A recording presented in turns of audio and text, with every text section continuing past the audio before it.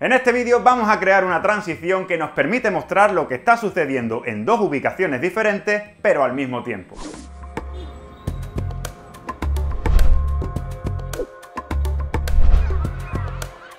Para realizarla usaremos la aplicación Google Earth, que nos permite visitar cualquier punto del planeta, pudiendo de esta manera elegir el punto exacto donde se grabaron las tomas que queremos unir mediante esta transición. En este tutorial veremos paso a paso cómo descargar la aplicación Google Earth y cómo configurarla para eliminar todas las indicaciones y textos que aparecen en el mapa, y de esta forma obtener un resultado más real. También veremos cómo desplazarnos, acercarnos y alejarnos a un punto en el mapa, cómo grabar un viaje para después exportarlo y llevárnoslo a Adobe Premiere.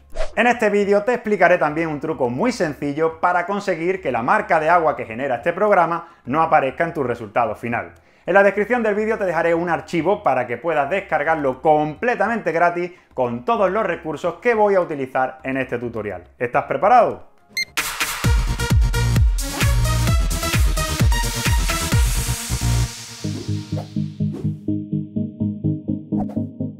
Comenzamos este tutorial con un proyecto en Adobe Premiere donde quiero unir estos dos clics de vídeo mediante una transición de desplazamiento en mapa o también llamado efecto drone. Para ello voy a necesitar crearla en la aplicación gratuita Google Earth Pro. Si no la tenemos instalada es tan fácil como buscarla en el navegador escribiendo Google Earth Pro y hacer clic en el enlace para descargarla e instalarla. Esta aplicación está disponible para PC y para Mac, para comprobar que funcionará perfectamente en nuestro equipo, revisamos antes los requisitos del sistema aquí a la derecha, y si los cumplimos, pulsaremos Aceptar y Descargar. Una vez abierta la aplicación, nos muestra una interfaz con el globo terrestre, a la izquierda un panel con diferentes opciones y en la parte superior el menú de la aplicación. Nos muestra, como puedes ver por defecto, muchas indicaciones y textos sobre el mapa, todo esto vamos a eliminarlo para obtener un resultado más real, es decir, vamos a simular que lo hemos grabado usando un dron. Para eliminar todas estas marcas, en el menú de la izquierda, en la opción de capas, desactivaré todas las casillas. Vamos también al menú Ver. En él vamos a dejar activa la barra de herramientas, la barra lateral y la barra de estado. Todo lo demás lo desactivamos. Ya tenemos todo configurado. A continuación vamos a ver qué controles tenemos para crear nuestra película. Justo arriba a la derecha tenemos unos controles para desplazarnos en la vista. Rotar y hacer zoom. Justo en el lado contrario, arriba a la izquierda, tenemos un buscador donde escribiremos el lugar que queremos visitar. En mi caso voy a ir nada más y nada menos que a Central Park en Nueva York. Una vez que lo tenemos escrito, pulsamos en buscar la aplicación nos lleva al lugar elegido. Y lo primero que vamos a hacer es encontrar, desplazándome con el ratón y ayudándome con los controles, el punto inicial de nuestro viaje. Una vez que tenemos el punto inicial, vamos a acercarnos más o menos a unos 100 metros del suelo. Esta distancia la puedes ver justo abajo del todo a la derecha, donde pone altura del ojo. En este momento estamos a 68 metros del suelo. Voy a hacer un poquito de menos zoom para llevarlo a un valor más cercano a 100 más o menos por aquí. Si por cualquier motivo no te aparece este dato, dirígete al menú Ver y asegúrate que la barra de estado está activada. Vamos a crear nuestro viaje dentro de la aplicación y para ello en el panel de la izquierda vamos a mis sitios, hacemos clic con el botón derecho del ratón y pulsamos en añadir carpeta. Se nos abre la ventana de nueva carpeta y le damos un nombre. Lo voy a llamar efecto drone. Dejamos activa la casilla de permitir que esta carpeta se despliegue y pulsamos aceptar. Se nos crea la carpeta en mis sitios y en ella vamos a incluir las diferentes marcas que formarán parte de nuestro viaje. Ya tenemos el punto de salida, así que hacemos clic con el botón derecho del ratón en la carpeta efecto drone y en añadir seleccionamos marca de posición. Se nos crea una marca de posición justo en el centro de la imagen representada por una chincheta amarilla, que podremos mover a nuestro antojo y colocarla en el lugar exacto que queramos. Yo la voy a colocar aquí. En la ventana de nueva marca de posición que se nos ha abierto, le damos un nombre a la marca. Por ejemplo, no me voy a complicar mucho y la voy a llamar marca de posición 1. Ya tenemos fijada una marca con su latitud y longitud exacta, por lo que para terminar pulsamos en aceptar. En el panel sitios aparecerá el punto creado dentro de la carpeta efecto drone. Vamos a crear el segundo punto. Nos vamos a los controles de movimiento y el único que vamos a variar va a ser el de zoom vamos a aumentar la distancia al suelo pulsando el botón con símbolo menos. Yo lo subiré hasta llevarlo más o menos a un kilómetro de altura. En este punto vamos a crear la segunda marca. Pulsamos en la carpeta Efecto Drone y en Añadir seleccionamos de nuevo Marca de posición. Sin mover nada en el plano, vamos a la ventana de configuración de la marca y le ponemos el nombre Marca de posición 2 y pulsamos Aceptar. Ya tenemos dos puntos en nuestro viaje. A continuación nos desplazamos por el mapa usando la rueda de control de desplazamiento. Ojo, sin variar en ningún momento ni el zoom ni el giro. Mi intención es ir a este punto, por lo que lo situaré más o menos en el centro de la pantalla. Bien, esta sería ya nuestra tercera marca, así que vamos a crearla tal y como has visto en las otras dos veces anteriores. Una vez creada vamos a hacer un zoom de acercamiento pulsando el botón más del zoom hasta tener el punto final a unos 100 metros de altura. Ahora sí, en esta última parte, con los controles de desplazamiento y giro, situamos el lugar exacto en el centro del mapa. Una vez definido el lugar, creamos la última marca. Colocamos la chincheta amarilla en el lugar exacto, yo la situaré más o menos aquí, y la configuramos. Una vez creadas las cuatro marcas, vamos a configurar el viaje. Hacemos doble clic en la marca de posición 1 para que la aplicación nos lleve justo a ese punto. Para que el icono de la marca representado con una chincheta amarilla no salga en nuestra película, quitaremos la selección que se encuentra a la izquierda de la carpeta Efecto Drone. De esta forma, desaparecerán dichas marcas del mapa.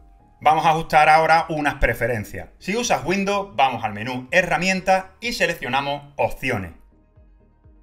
Si usas Mac, vamos al menú Google Air Pro y pulsamos Preferencias. En la pestaña Viajes vamos a darle un tiempo entre puntos de 5 segundos y un tiempo de espera en los puntos de 0 segundos.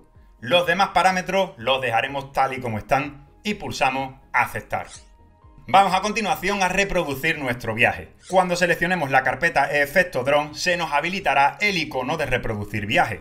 Lo pulsamos y se reproduce el viaje apareciendo abajo a la izquierda los controles de reproducción. Una vez ya visualizado, nos llevamos el cabezal de reproducción al principio del clic y pulsamos en el icono de guardar visita guiada. Le damos un nombre, por ejemplo, visita guiada efecto drone y pulsamos aceptar ya tenemos creada nuestra visita guiada dentro de la carpeta Efecto Drone, por lo que solo nos queda exportar el vídeo para llevarlo a Premiere. Para ello vamos al menú herramientas y seleccionamos creador de película. Fíjate que no está activo.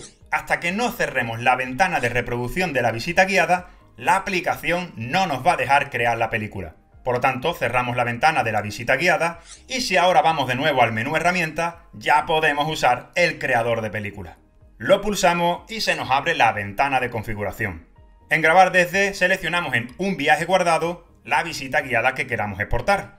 En el apartado guardar en, pulsando en examinar, elegimos la carpeta de nuestro disco duro donde queremos que se guarde. Yo voy a elegir la carpeta documento y le daré el nombre de película efecto drone, pulsando una vez terminado en guardar. En los parámetros del vídeo elegimos la calidad. Te aconsejo si puedes elegir la máxima. En este caso sería UHD o lo que es lo mismo, 4K, ya que luego en Premiere lo escalaremos al tamaño del proyecto y dejaremos fuera del encuadre la marca de agua que crea este programa. Por lo tanto es importante, si tu equipo te lo permite, crear esta película en la mayor calidad posible.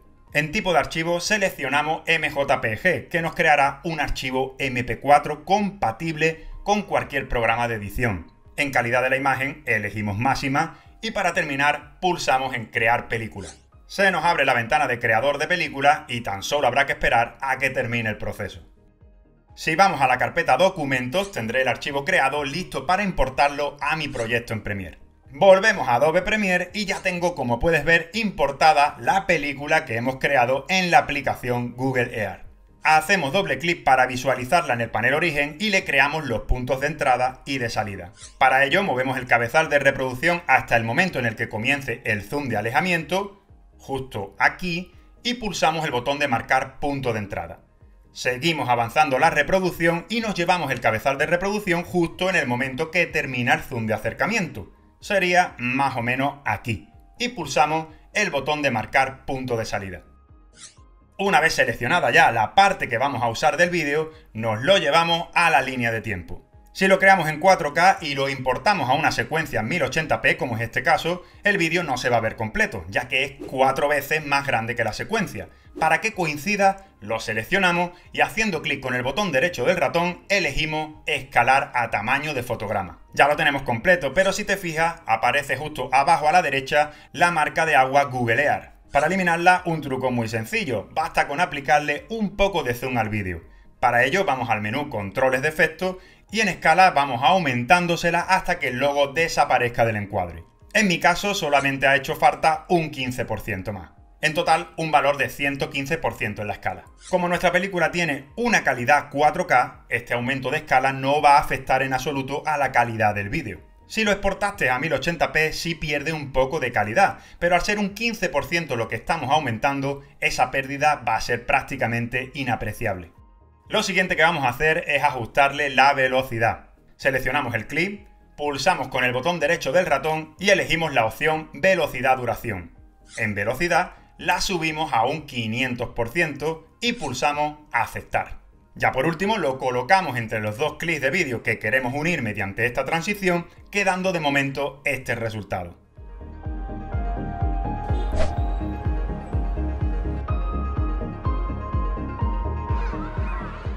En este archivo que te dejo en la descripción del vídeo para que lo descargues gratuitamente encontrarás todos los recursos que voy a utilizar a continuación.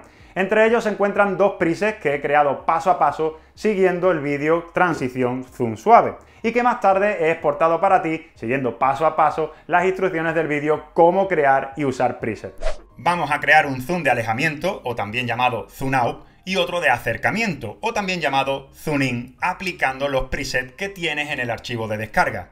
Importar los presets a tu proyecto es muy fácil. Vamos al panel Efectos, seleccionamos Ajustes preestablecidos y pulsando con el botón derecho del ratón seleccionamos Importar ajustes preestablecidos.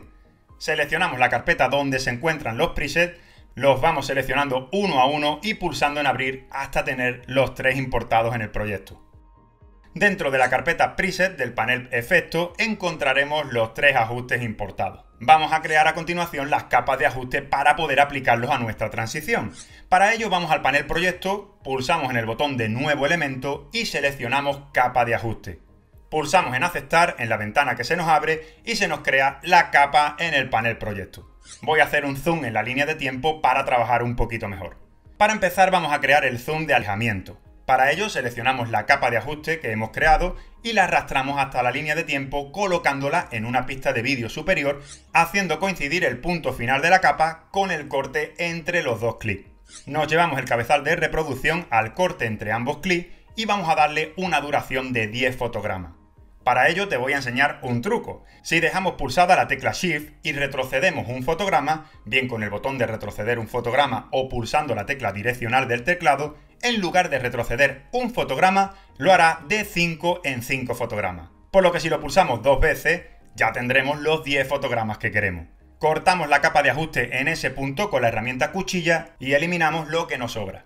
A continuación vamos a copiar la capa de ajuste que hemos creado y nos la vamos a llevar a una pista de vídeo superior. Para ello, otro truco es pulsar la tecla Alt o también llamada Control y a la misma vez arrastrar la capa hasta la pista superior donde la queremos copiar. Vamos a llevarnos el cabezal de reproducción justo en el corte de los dos clics y vamos esta vez a avanzar 10 fotogramas hacia la derecha. A continuación, vamos a agrandar esta segunda capa de ajuste hasta ese punto, consiguiendo de esta manera una capa de ajuste de 20 fotogramas. Ya tenemos todo preparado para aplicar los presets de Zoom Out. Vamos al panel Efectos y seleccionamos de la carpeta Preset el ajuste correspondiente.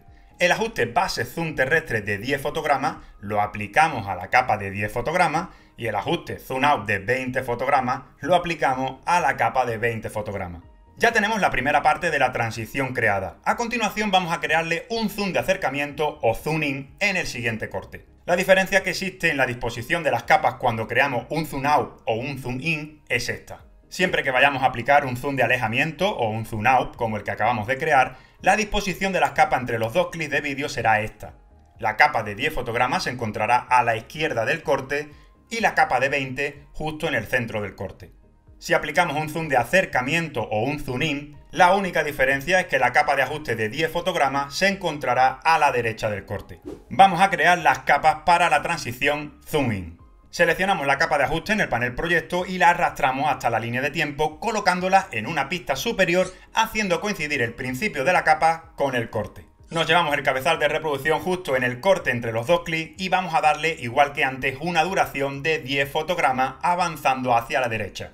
Cortamos en ese punto y eliminamos lo que nos sobra. Copiamos la capa de ajuste en una pista superior, nos llevamos el cabezal de reproducción justo en el corte entre los dos clics y retrocedemos 10 fotogramas agrandamos la capa de ajuste hasta el punto donde se encuentra el cabezal de reproducción, consiguiendo de esta manera nuestra capa de ajuste de 20 fotogramas. Por último, aplicamos el preset Zoom In, arrastrando cada parte a su capa de ajuste correspondiente. La base Zoom terrestre a la capa de 10 fotogramas y el ajuste Zoom In a la capa de 20 fotogramas. De esta forma tendremos ya terminada la transición. Solo nos queda, para terminar ya este tutorial, aplicarle los efectos de sonido. En los recursos que te dejo tienes todos los efectos de sonido que voy a usar en este tutorial. Importamos los efectos al programa y los colocamos haciendo coincidir el sonido con el movimiento de las transiciones. Una vez ya colocado, tendremos nuestra transición desplazamiento en mapa o efecto drone completamente terminado.